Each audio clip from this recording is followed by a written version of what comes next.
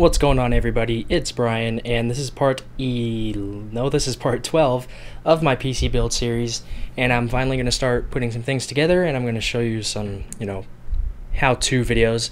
So this is basically going to be a multi-part uh, video series on the actual build itself and in this video I'm actually going to be putting some of the components onto the motherboard and I'll also be showing you how to mount the motherboard into our Thermaltake Armor A60 case. So we're going to be putting in our processor, which in my case is the Intel Core i5 2500K.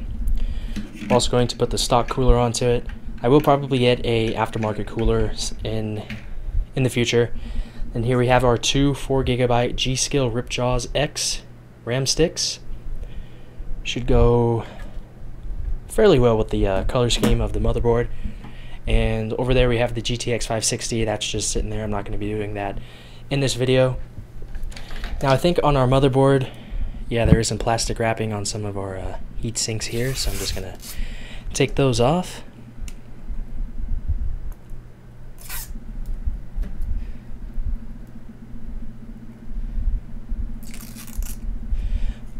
Alright, so it looks like we are ready to go. So over here we have our CPU socket, which is made specifically for Sandy Bridge processors using the uh, 1155 socket. So I'm just going to go ahead and zoom in to the socket itself. There we go. So here we have the processor. Just going to take it out of its little packaging. And we have this little latch here. Just need to uh, figure out how to get this open. So it seems as though it goes in this way. So we have the processor installed. Now we're going to take our stock cooler it's basically this simple heat sink, heat sink and fan. Just gonna figure out where the fan connector is located. I'm assuming it's this one right here. So this just uses little push pins to insert itself into the motherboard. So we're going to push down on these.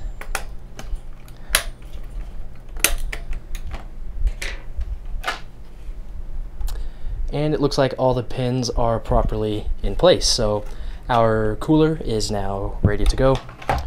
So we just need to plug in the fan into the CPU fan slot, which is right here.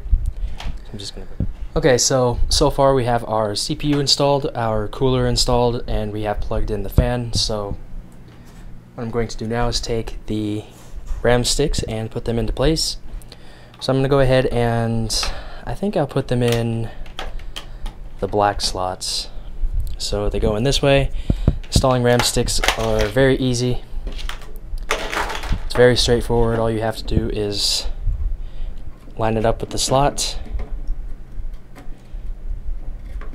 and line them up with the slot and push down until they snap into place.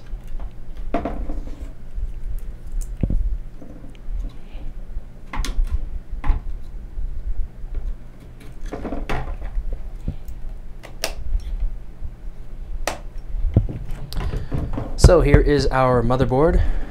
I don't know if you saw the RAM installation or not, but here it is. We have our CPU, our cooler, our fan plugged in, and our two RAM sticks installed.